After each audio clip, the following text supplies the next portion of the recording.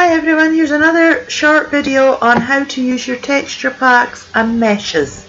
So what I want you to do is go onto your desktop or wherever you've got your texture pack. It should be in the same place as what your designer kit is. Now mine is on my expansion drive so I have to open that. Don't open this with GIMP, I want you to open this from here. Right, so I need to scroll down. As you can see, I've got a shed load of stuff here, and it will say texture pack. So just click on that. And here you can see you've got FAT te FA textures, female textures, male textures, and MA textures. Now, if you open it up, click on your FA textures first.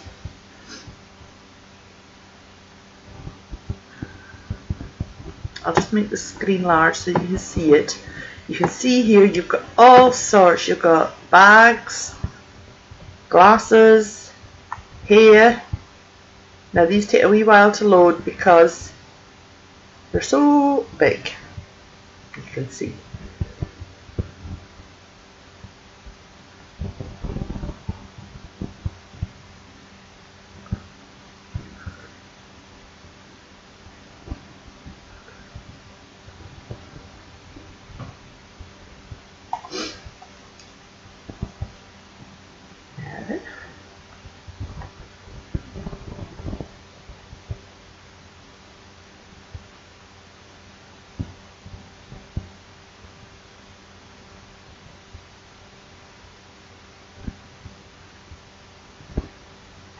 Now these are just like texture, shoes, bunny ears, you name it. I mean I'm not going to wait for all of this to load because otherwise it'll take forever and a day. But as you can see you've got all sorts that you can use and play about with but I'm not really that interested in the FA textures at the moment. You've got your female textures, now these are more like the outfits. You've got skins, you've got your furry animals, Again, I'll show you how to do all this. Got eyes. As you can see here, you've got the skins, the heads, the torso, and the lower body. And you've got makeup. Again, using these is all good practice, but the only problem I have with these is they never actually fit the meshes right, and you've got to really tweak them and play about with them and all that. But it's good practice. It's good practice. Right, so and here we have different styles of jeans and pants and you name it. So let's open up a nice pair of jeans. Just for now and I'll show you. So right click on, just pick, pick any pair of pants you want. We'll stick with pants for now because, uh, because the different meshes require, the different outfits require different meshes. So if you click on that to highlight it and then right click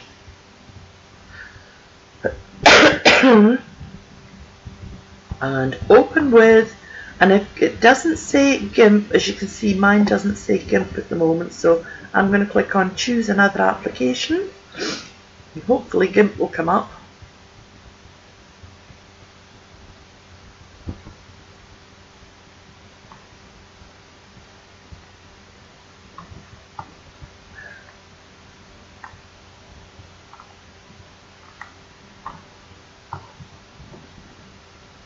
Now I'm having a here because there we go. Uh, not going to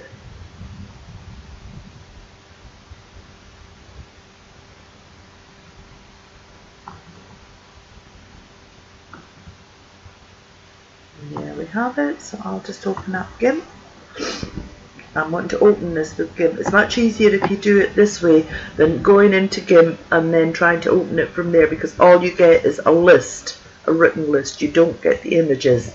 So it's much harder to pick something. So always do it this way. And as you can see, that's come up in GIMP nicely. So now we want to make this smaller and close it. Okay, now as you can see this is already set to 1024 so that's all good. Now these are female jeans remember because I took them from the female textures. Now making sure you're on your move tool. Now play about with these textures and meshes. Have fun.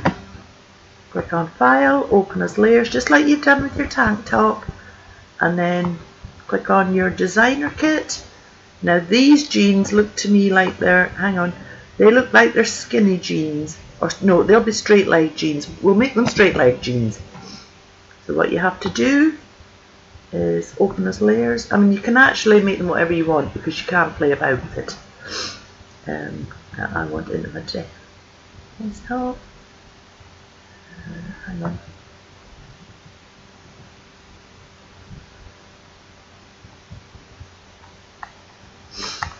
There we go, I need my designer kit, UV maps. Now just scroll down until you, you're here. Now you've got HF lower body, baggy jeans, boot cut, flares, flare leg. I'm wanting straight leg. So here we go. HF lower, lower body, straight leg. Just pick and choose whatever style you want and I'll show you how to tweak it. Click on that and then click open. Now as you can see this mesh is way too big. It's 2084, 48 sorry. So click on layer, scale layer, making sure those are locked. Click on 1024, 1024. Scale it down, go over to your layers box here and click on the downward tab. And now as you can see, that's all hidden underneath. Now click on your top layer, right click on it and scroll down to where it says add alpha channel. Now the add alpha channel is what when you outline something and cut it, it then makes it transparent round the edges, which is no, which we then call a, ping, a PNG file, which is what you need all the time for designing. So always remember this add alpha channel. Go back over here and lower the opacity. You can just see it, and as you can see, a bit too much. And as you can see, the jeans are pretty much spot on with what you've already got. Now we just need to tidy it up a wee bit and expand it so we don't have any gaps. So that's very simple to do. First of all, what I want you to do, now I never ever follow these lines down here because I find that they just look untidy. So what you do is you go into your rectangular select tool and then you left click down, hold it down and drag it and you just keep dragging it until you've got a nice little box. Again, you see those yellow lines? And then just take it up to where it's about there on the outer edging. Making sure you're on here. Right click inside that. Click holding it down, click on edit. Oh, and then cut and that cuts it. Don't worry about the fact that you're inside this mesh because when you're making a straight line it actually makes it tidier except when you're doing like something frilly or fancy then it gets much more complicated. Okay, so now that you've done that just click in there and that removes that box. Now we want to make this just a little bit larger so let's try this tool. This is your fuzzy select tool. Just click anywhere outside no that's no use so just click edit. So we'll go back to your free select tool making sure that you are still on that top layer. Zoom in to 200 go up to the top. And then just follow. You can follow the jeans outline really as much as you want. As you can see this is meant to be a shirt with these but we don't want that. So we just follow the outline, just basically, it doesn't have to be spot on. Going round and round. Just follow it right round. I'm going to pause this video here because this is going to take a wee Now once you've got your outline joined up and you can see that, zoom it back down to 50 and you can see it's like so. So now you go into select and remember what I said about wanting the actual material just a bit wider. So click on grow and bring that up to 15. Just type it in and click OK. Once that's done, go over to select, invert, and then right click inside, edit, cut. And you can see that has cut away all of that Now mine's not looking very tidy up top. Let's see. That's easy. Oh, I see what's happened. It's because I've enlarged it. So when you've still got this up here, go back into your uh, free select tool and just cut it along the jeans there. If you don't have this, then that is fantastic. But because I always like to grow mine in the outer edges so that I don't have any nasty holes or seams, uh, my gimp has decided to freeze up.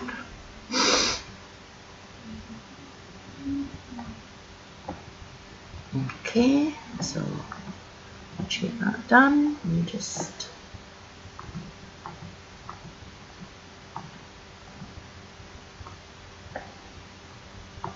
here and then just carefully be careful because if you go outside there you lose your uh, free select tool click right inside there and then scroll back over. Same here again being careful. I mean don't worry about anything that's left over. Join it up. Because remember I said to you with the pink tank top that so long as it's outside the mesh it doesn't show on the outfit select cut. But if you really are worried about it now just click in there. Click on your eraser tool this. Now that's huge. See, look the size of that. Bring the size down to about that.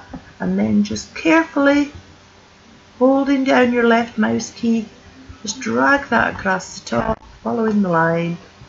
And that will get rid of any. See how I did that because I pressed outside there. I lost my eraser. Click on it again and then just drag it across, go down to your scroll bar. Now you need to be zoomed in a lot here so that you can see, and even though you can't see anything there, there will be a slight residue, so just bring it up, making sure you don't cut away anything from here. As long as you hold down your mouse key, your left mouse key, you'll be fine. Now, go back over to your move tool and then click on 50% and as you can see go back over to the top layer and there you have it. Now I'm not a real fan of light jeans like this so go into colors hue saturation and either lighten them using the lightness button you can see what's happening or the dark you know just play about with them you get what you want.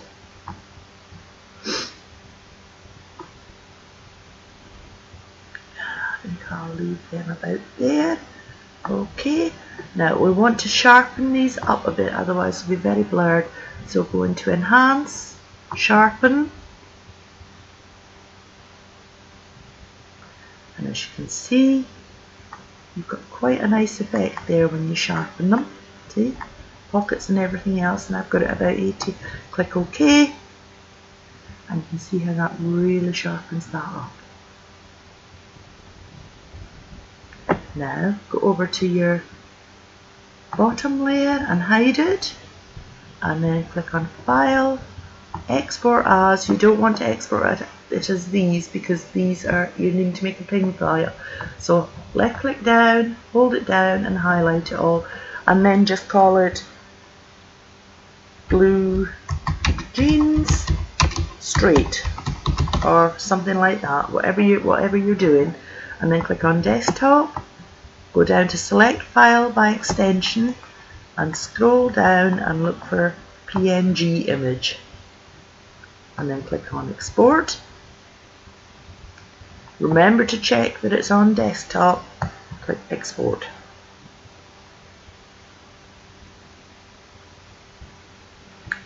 hide that, go into your RLC closet, which RLC is really playing up on me today.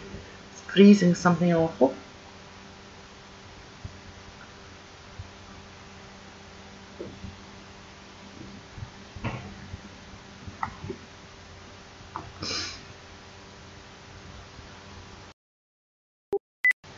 Now going back into your RLC closet, go down to your profile closet, click on clothing because you're now making a new item.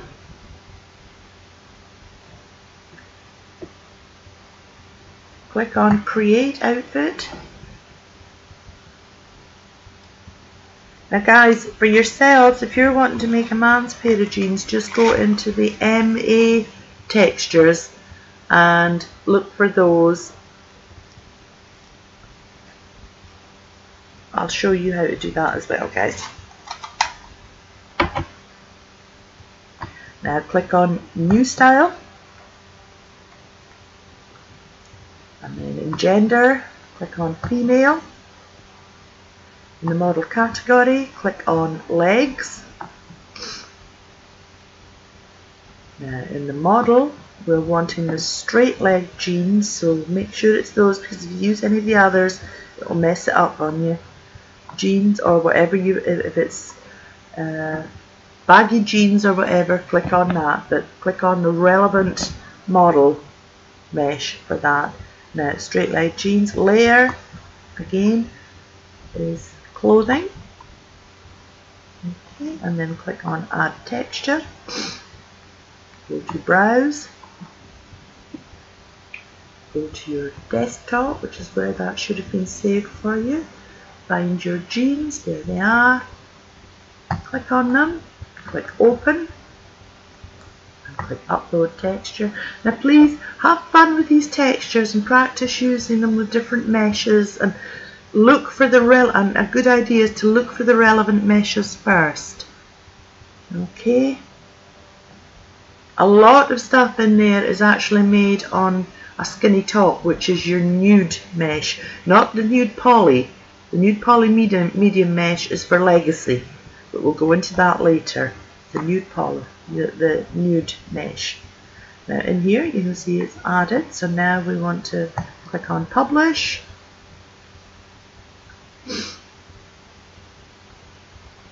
and test. Hopefully I'm getting into my closet here. In the right time here. Oh.